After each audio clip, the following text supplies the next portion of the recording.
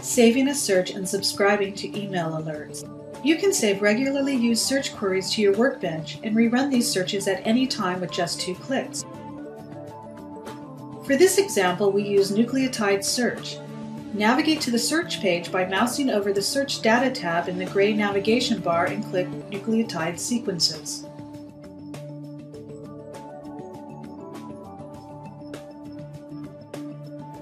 Now let's say that you are interested in finding H1N1 influenza HA nucleotide sequences isolated from swine since 2009.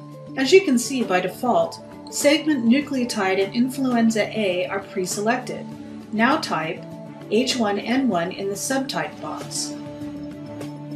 IRD shows an instant count of search results here to help you search quickly and efficiently. Now select segment HA swine from the host list, then type in 2009. If you are only interested in segments that are highly similar to 2009 pandemic H1N1 sequences, you can simply click the checkbox that is next to Filtering of Records with high similarity to 2009 pandemic H1N1 sequences and click the radio button next to Include Only Pandemic H1N1 Sequences. IRD has now computed all sequences in IRD and identified pandemic H1N1-like sequences. For details about how the pandemic H1N1-like sequences are defined, check out the SOP document. In cases where you want to use more search options, you can click Show All next to Advanced Options to see other search fields. After you have selected the search criteria, click the Search button to perform the query. The search results are displayed in a table.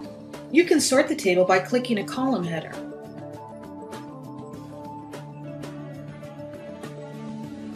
as well as display settings for two or more display fields.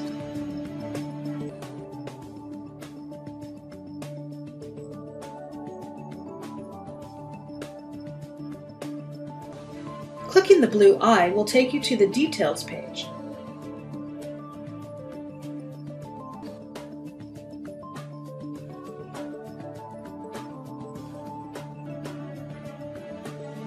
Now navigate back to the search results page by clicking the results link in the breadcrumb.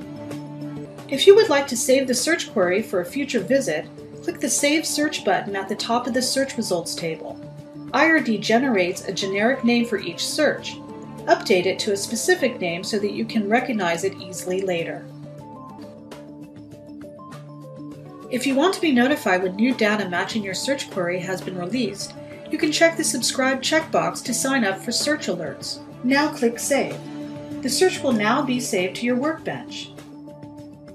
In the future, you can come back to the IRD site and rerun the search with just two clicks. If you have subscribed to the Search Alert service, IRD will rerun your saved search every week and send you an email alert when new sequences are released in IRD that match your saved search.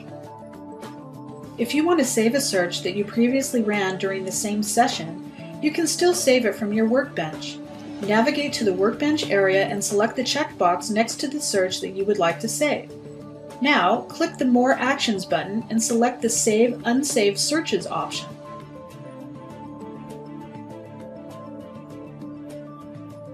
Enter a search name and click Save.